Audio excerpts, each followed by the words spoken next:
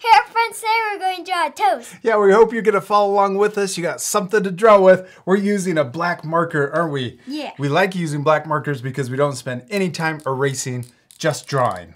Yeah. And your marker is squeaky. and you also need paper. You ready to start? Yeah. Okay, first step, we're gonna draw the outside of our toast. We're gonna draw the bottom first, and we're gonna draw a, it's kind of like a box. And I'm gonna draw it sideways or diagonal. So I'm gonna draw a line that comes down, over, and then back up. Look, it's kind of part of a box. So you can start right here, start right there, and draw a diagonal line down. No.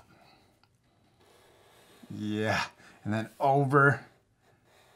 Yes, and then back up. you could have big toast. Now we're gonna draw the top of our toast, and we're gonna draw a big curve that goes around the top and then connects to the other side. It Now it looks, like, toast already. yeah, it looks like toast. or bread. Your bread looks like toast. You know your bread looks like toast. What does bread have on the outside? Crust. Yeah, it has crust. So let's draw another line, another shape that matches the first one we drew. So I'm gonna go around the same, the same shape that we already drew to draw the crust. So we got that first shape, and then I'm gonna come up and we're gonna do the top part, the top part of the crust. Comes around. Crust. Can you do that all by yourself? So you're gonna, you could start right here and draw that same box for the bottom part or the top part. Good. And then we're gonna keep going down. Yeah, stay right next to it. And then connect. Okay, what does toast always have on it?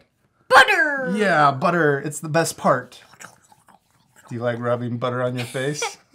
My face is toast. So let's start by drawing, we're gonna draw a V right here on the top part of our toast. It's a little V. Yeah, because we're gonna draw our butter uh, sideways. Oh, mine is pointy. yours is pretty big. That's okay. We're practicing, right? Then we're gonna Yeah. draw an A line for the top part of our butter. kind of looks like a diamond shape. it is a diamond shape. I like your butter. It looks really cool. Okay, now what's our funny toast missing? A funny face. Let's draw his eyes first. I'm gonna draw two big circles, one on each side, At the bottom. at the bottom of our toast. Yeah, at the very bottom. Sure, way down there. That's a little eye. And then we're gonna draw smaller circles inside of those two that we just drew. Yeah, and then you can color in the big one. I'm gonna draw smaller circles down here in the bottom, but you can leave these off if you want. And then I'm gonna color it in. Oh, what should we draw next? His mouth. His mouth. I'm gonna draw straight line right in between the eyes, and then I'm gonna draw a U, so his mouth's open, and then color that in. All right, dude, we did it. We finished drawing our toast, and it looks awesome. Except we still need to do one last thing. What is it? Color it. Yeah, this part we're gonna fast forward, but you guys at the end can pause the video to match the same color.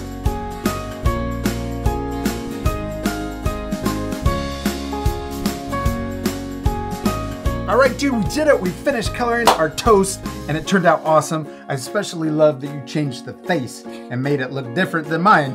What was your favorite part?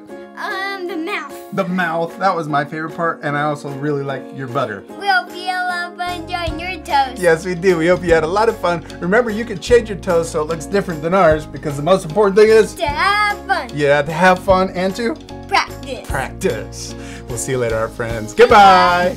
You said goodbye. No, you said goodbye. You said goodbye. You said goodbye. You said goodbye. You said goodbye.